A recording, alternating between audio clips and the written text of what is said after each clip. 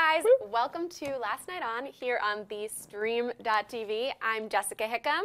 And my name is Xavier Brinkman, and we are here to recap on everything that happened on last night's TV. Sunday, it's a good one. I'm glad we got I this know. night. Okay, Sunday night is so good. Yeah. I think I said that last week, but I'm just obsessed with Sunday night TV right now. It's, It's killing it. awesome. So we're going to be going through Secrets and Lies, uh, The Royals, which just premiered last night, and Last Man on Earth. So Secrets and Lies. What do you Secrets and Lies. Um, you know what? I'm really getting into this show. I think it's interesting. We were kind of talking earlier about how I really think they're setting it up so each week you find out a different secret about someone in the neighborhood. So everyone's got some dirt, and ultimately you just have no idea at this point who who actually killed It's getting like you know Ben. It's it's getting it's getting very complicated and intertwined, and things Yes. are coming out every Yeah. week, and it's like it's like what seems like such a simple case, I guess, is becoming is just really unraveling to be re- pretty crazy. And, and Right. as you said, so it's like there's like it's like almost like it focuses on a different neighbor every every every week. But at the end of the day, I really think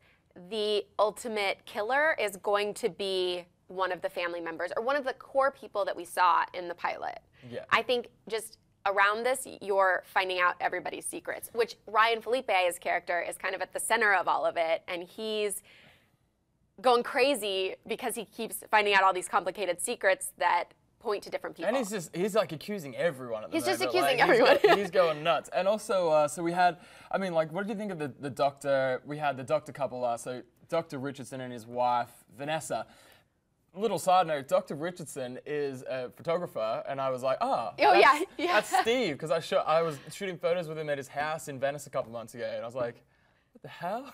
hey, But um, hey, so I mean, you know, what was it? They're not only were they accused of, of beating their son, but they're also. Right. It turns out they they are siblings as well. They are half oh, siblings they're as well. they're married, but they're half siblings. All right, so which is why he had the bruising because he had it's what is it called Sure. He- hemophilia Sure. So shit. So shit's pretty weird there. Let's we'll see how that pans out Right. next week. But uh, and then obviously, what do you think of the voicemail thing at the end? Like it's like Juliette Lewis is keeps finding like digging up dirt on Ben. So there was a voice message at the end yeah saying like, "I apologize for what you're gonna see tomorrow." well see that? um was that in the previews for next week That was it was at the very end of last night's episode. i don't remember seeing it. Yeah, that. it was like she plays. Okay, so what does she she say? Plays him, she just plays him a voicemail saying, uh, you know, and it's him saying, uh, you know, he's all like out of breath, and he's like, I, I'm so oh sorry. right oh i do remember that Yeah. yeah, um I, part of me thinks that the theory that she is just giving harassing him to try to weed out the real killer Mm-hmm. might be right because she's so mean to him She is, but I mean, like that was like cold hard evidence she had on him as well. So it's like he's in he's in serious trouble. This guy. Like, Right, he- she- right. she's she's really going going to town on him. yeah that's true Anyway, next week we'll see what happens. But what did Okay. you think of the Royals premiere last night? Um, I loved it. I was actually obsessed with the premiere. I could Man. not stop watching it. Like I, I was writing a review for uh, the other website that I work for, and I'm like trying to write my review, and I couldn't, I couldn't tear my eyes away. It was so good. Elizabeth good. Hurley has aged very well, right? Yeah, it's like Holy shit. and it's totally fulfilling like the Gossip Girl need in me. Yeah. We haven't had a show like Gossip Girl OC in a while, and it's it's that, but it's written so that it kind of knows what it is. Sure, and uh, so yeah, I think Elizabeth Hurley is like a perfect fit for the Queen. Um, William Mo, uh, what's his last name? William Um, Moseley? Moseley. Yeah. He's like grown up since the Narnia days, and Yep, I think yeah. he's. I know, and I know Jess has a little bit of a crush on him, but Yeah, you can have um, Indiana Evans. I'll take yeah. William Moseley. But We're um, good. man, he's grown up, and he like is a perfect fit for this role. I think. What Oh, think? and he, yeah, the whole relationship element. Like, there's a lot of cliche things in the series, like, you know, commoner meets prince, and they like each other, and then you've got like the king who doesn't want to be a king. But it works so well. I I love it. For some reason, it just feels fresh. It's kind of nostalgic, Yeah. but in in this modern, awesome way. I know. I, I actually got hooked as well. Like I was like, oh, better check this show out for the uh, for the re- review show, like for the last night on tomorrow, and I actually really enjoyed it. So Yeah. What did you think of the fashion in the show? I, uh, I mean, I'm like, all right, Jess is gonna love this. I know, and that's see, that's one thing. It's it is E's first scripted series, Mm-hmm. but it's still E, so you know that there's going to be fashion. And one thing that I definitely noticed, it's a British show. They're going with the hats, those like crazy what Mm-hmm. Fascinators. fascinators. Uh, I'm down with I'm down with Yeah. the fashion lingo. Don't worry, guys. If you if you just saw on your screen, we just had a picture for you of the fascinators, and I don't know. I think I could rock one. I think you could pull it off. Yeah, I think I could pull it I, off. I really kind of want one, but Yeah. um, I don't know. If, I don't know if LA is like a classy enough atmosphere. Like, I don't know if we have enough like tea parties in LA that I could pull off the fascinator. I think I think you'd be fine. I think I could pull it off as well. Oh, yeah, we should um, both wear yeah, fascinators yeah, next week on the show. I mean, I was watching the um, I was watching the review and like the behind the scenes with the director, and like there's some cool stuff going on. I'm actually I'm actually into it. As much as it would- Yeah. it typically wouldn't appeal to a person like me, I actually really enjoyed it too. So I'm, Yeah.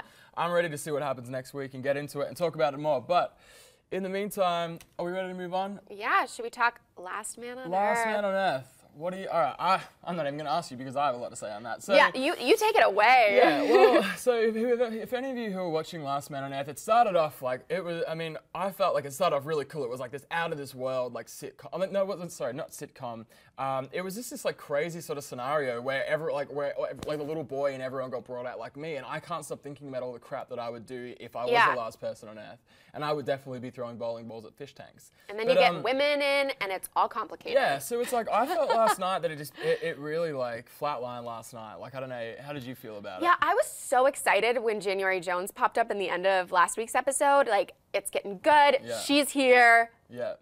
Things are going down. I didn't really like her character. I was re- so I was reading. I was like trying to like I, I was disappointed as well, and I was trying to, to decide figure out why. And I was reading some recaps and reviews, and like and the, and what they're saying online is correct. I feel it's like they're saying it's just become this like conventional sitcom now, where it's like this stereotypical scene where like the conventional husband and even like he's even shaved it like Will Forte shaved his beard now, so it's Yeah, like it's- he's, like, like appeasing the girl. Yeah, it's like this like like stereotypical scenario where like the married like the married like husband is like lusting over some like Right, babe across right. the road.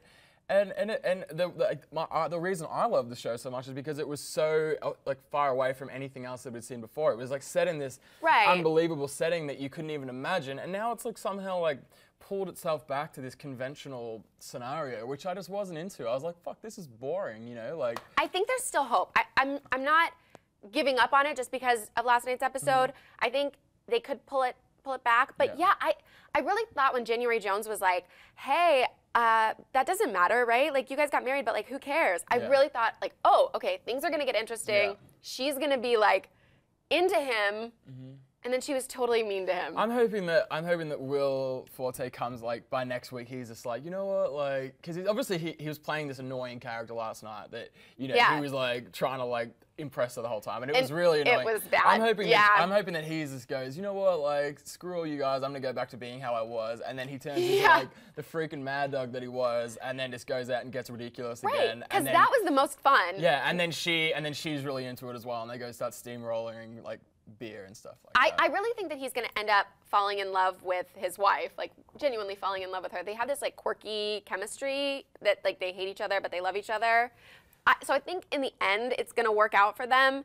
But I wasn't ready for it to be so conventional Yeah. so soon. Yeah, so I agree. And I mean, that's the thing. It's like, will, if they do end up together, that's such a conventional thing because we already know what's going to happen. Yeah, right? Like, it, uh, that's true. I think something crazy needs to happen. like So- more women.